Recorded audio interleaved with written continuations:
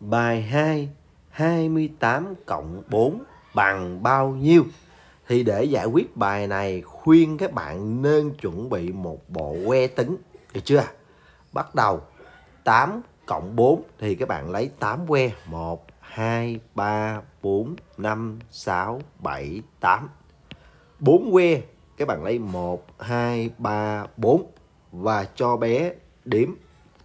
1, 2, 3, 4, 5, 6, 7, 8, 9, 10, 11, 10, 12 12 ghi 2 ghi 2 nhớ 1 được chưa và ở đây 2 cộng ở dưới đây không có số nào hết thì các bạn viết lại số số 2 nhưng nhớ thêm một nữa 2 2 nè nhớ thêm một nữa đếm 1 2 3 vậy là 3 chọn đáp án D.